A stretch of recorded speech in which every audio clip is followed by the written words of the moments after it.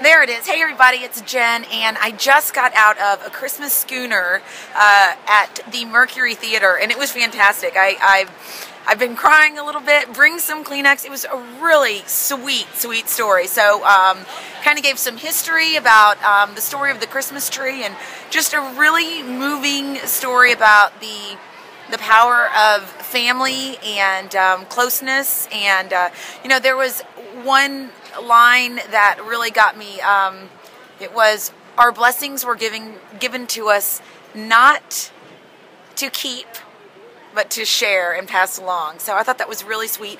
Um, this show is here every year um, around Christmas time, and um, it's going to be here through Christmas. I would really recommend you coming out to it. It was um, great for the entire family. You know, no bad words, really sweet uh, performances. Actors uh, all ages, from adults to uh, little kids, they all joined together to uh, just really present a really sweet story, and uh, it highlights Chicago. And I'll tell you what, if you don't want to get a Christmas tree after this, then I don't know what's going on.